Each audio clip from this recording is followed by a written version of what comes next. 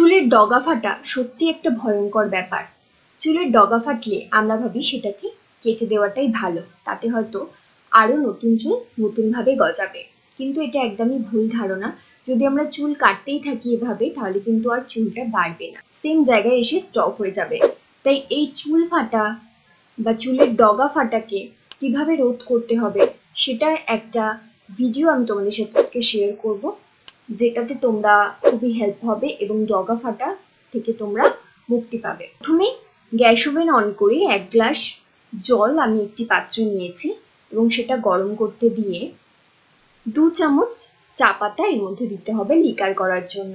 কোনো রকম চিনি বা দুধ ফুড কিছু দিতে হবে না, এটা চা বানানো হচ্ছে না। এটা চুলের ডগা ফাটা রোধ করার একটা ভিটামিন বা পুষ্টিকর খাদ্য বলতে পারো, যেটা চুলের ডগা ফাটাকে রোধ করে। এটা ঠান্ডা হওয়া পর্যন্ত ওয়েট করতে হবে এবং ওই চা পাতার জলটাকে কিন্তু পাঁচ মিনিট ফোটাতে হবে। তারপর এই রকম সুন্দর একটি লাল কালার হয়ে গেলে সেটাকে তোমরা নামিয়ে নেবে এবং ঠান্ডা করার জন্য সময় দেবে। এক ঘণ্টা বা দু ঘণ্টা যতক্ষণ হাতে সময় থাকে।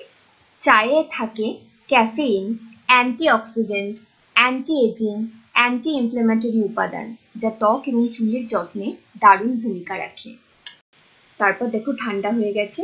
আমি একটা ছাঁকনির সাহায্যে এটা ছেঁকে একটি পাত্রে আমি এটাকে রাখলাম।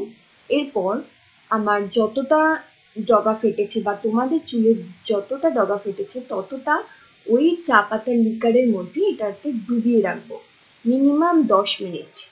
দশ মিনিট ওই লিকারের মধ্যে এই চুলটাকে ডুবিয়ে রাখতে হবে এবং এক সপ্তাহের মধ্যে খুব ভালো ফল পাবে।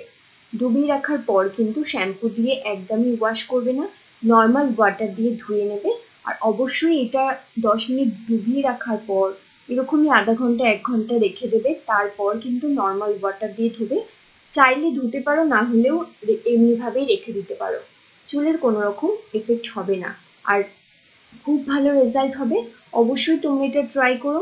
আর তোমরা এরকম অনেক আমাকে কমেন্ট করেছিলে দিদি চুলে খুব ফাটছে ঝুলের ডগা ফাটছে, তো এটা খুবই হেল্পফুল হবে। অবশ্যই এটা তোমরা ট্রাই করো এবং বন্ধু বান্ধব ফ্যামিলি মেম্বারদের সাথে শেয়ার করো, তাতে তাদেরও হেল্প হবে।